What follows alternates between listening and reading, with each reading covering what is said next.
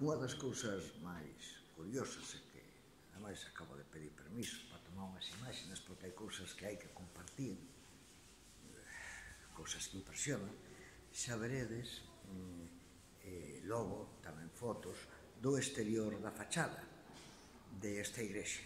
Eh, é impresionante polos mosaicos que ten, non? pero eu quedei realmente asombrado todo o tempo está forrado totalmente de azulexos. Lóxicamente, a ver se se pode mirar, representa episodios religiosos. Eu eh, creo que a Madre María, toda que hai ilustrada no templo, repito, Santa María de Válega, é un sitio que paga pena parar porque eu neste momento estou realmente asombrado da, da belleza do, do sitio.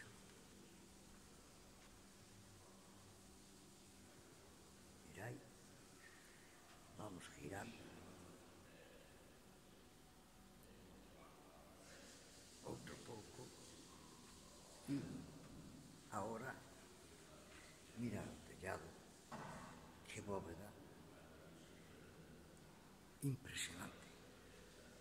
Isto está super cuidado. Vamos acercar un poquinho máis aquí a zona do altar.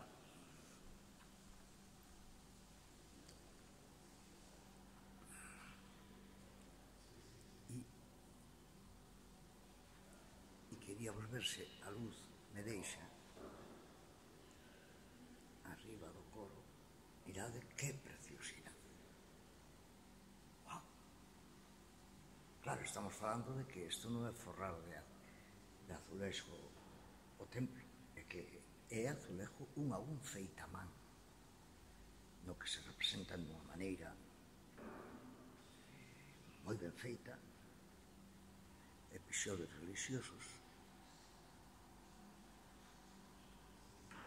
parecen tal cual unhas vidrieras. Fijarse, ali se confunda a vidriera co azulexo.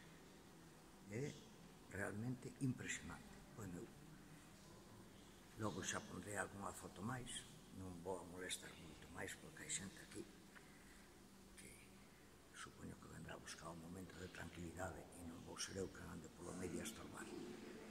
Entón,